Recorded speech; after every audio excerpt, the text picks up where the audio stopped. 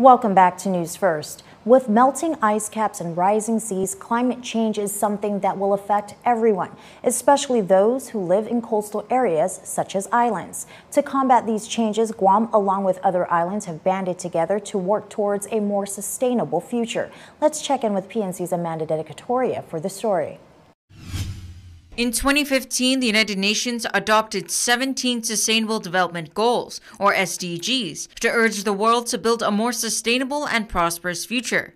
To further these goals, Lieutenant Governor Joshua Tenorio joined other island leaders at the UN Climate Change Conference to launch the Local 2030 Islands Network and establish Guam as part of an initiative to bring together governments to collaboratively work together and develop solutions that would advance the SDGs at the local level in ways that are culturally relevant. Just last week, Governor Lou Leon Guerrero signed Executive Order 2019 23 to create the Guam Green Growth Working Group, which would allow public and private sector partners to work together to create an action strategy to meet the UN Sustainable Development Goals. Chairing this group would be the University of Guam Center for Island Sustainability, which Dr. Austin Shelton, the center's director, says would provide a great opportunity for Guam to work towards a sustainable future. When we're working together um, across the island with all the new partners that we, we hope to bring together as part of this Guam Green Growth Initiative, uh, we'll be able to put all of our progress, all of our accomplishments in a dashboard and um, we, we, we, report it up to the United Nations and we will show how Guam is contributing uh, to sustainable action globally. In addition, he adds that because Guam is a part of the network, it could also reach out to other islands for guidance. We'll be able to, um, to share these innovations with other islands. We'll learn lessons from the other island members uh, as part of this local 2030 Islands um, partnership and really be able to advance uh, sustainable development goals. Amanda Dedicatoria, PNC News. Founding partners and supporters of the Local 2030 Islands Network include Guam, the Marshall Islands, FSM, and more. In regional news, the Federate States of Micronesia may soon be the site of a new United Nations multi-country office in the region after getting the endorsement of other Pacific Islands nations. Here's more.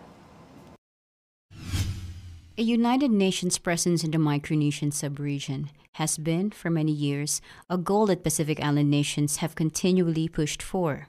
With the United Nations recently announcing its plans to have a dedicated multi country office in the North Pacific region, establishing the new subregional headquarters in the Micronesian region is one step closer to becoming a reality.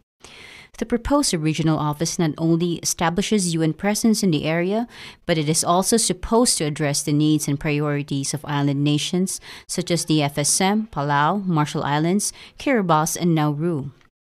Following the UN's decision, the presidents of the Micronesian Subregional Group met for an interim session at the FSM's permanent mission in late September, just before the opening of the 74th United Nations General Assembly. After the meeting, the five presidents signed a letter endorsing FSM as the new UN MCO. The letter was later transmitted to UN Secretary General Antonio Guterres. This is Luella Lucino for PNC News. Guam's newest craft beer production brewery is officially open for business. PNC's Charles Eckert has more. With a ribbon cutting to mark its grand opening, the Guam Brewery is on a mission to become Guam's national beer. Located behind the historic San Miguel Brewery in Harmon, the company has a facility designed to create a line of six craft beers made to reflect One, the flavors of the island. Two, three, salad. As a local businessman and part owner of the brewery, Jay Merrill says they have an outstanding product that represents the very best of Guam. This is a beer that's made here, that reflects the flavors that were designed for our people. It is utilizing techniques and equipment that's state of the art, and it's made by a head brewer that has won awards in California, in Denver, and in Europe. Head brewer Mike Converse says it's been a nearly three year journey to get to this point and explains what this means for Guam. Well, it gives a fresh local beer that's made here. I mean, we're making it here as fast as we can, and we're going to have it in cans in the stores and the hotels and restaurants as fast as we can get it up. Merrill adds the craft beer line is a Guam product seal product developed specifically for the taste of the people of Guam. We have six flavors ranging from very light, our gold cream, to our porter, which is a chocolatey and delicious dark beer. And we've got all of the other range of flavors in between.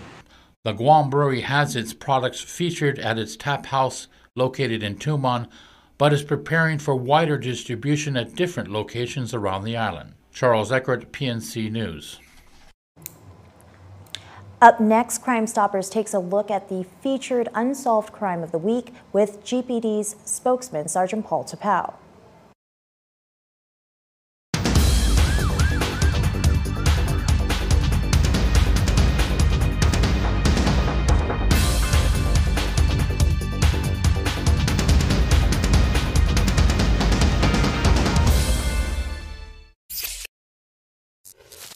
Håfa adai, I'm Sergeant Paul Tapao, your Guam Crime Stoppers Coordinator, Now this is your Crime of the Week.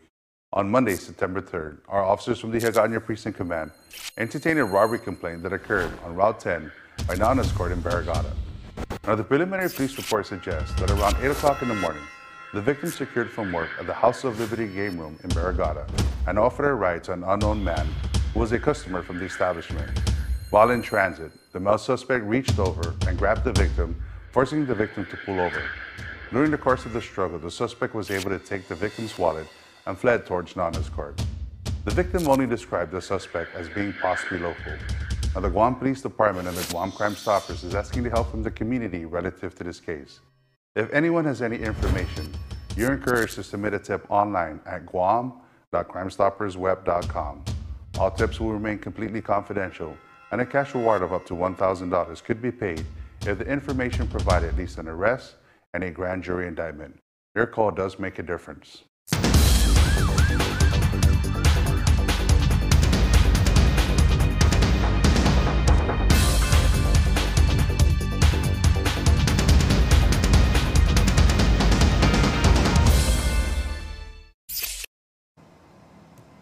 Destiny Cruz and Leo Payumo have your weather and sports lineups next.